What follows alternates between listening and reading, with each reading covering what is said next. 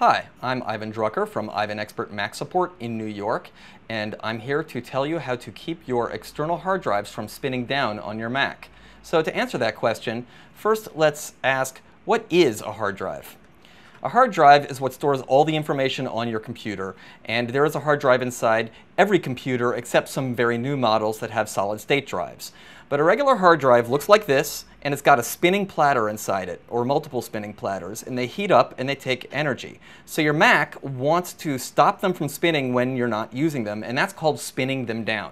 And even if you have an external hard drive attached, like this, what's inside it is this.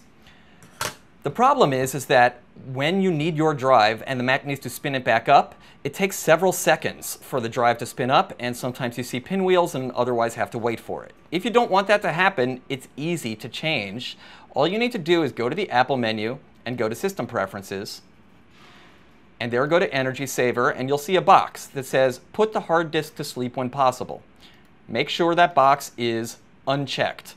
The Mac will no longer try to spin down your drives and they'll be ready for you when you need them.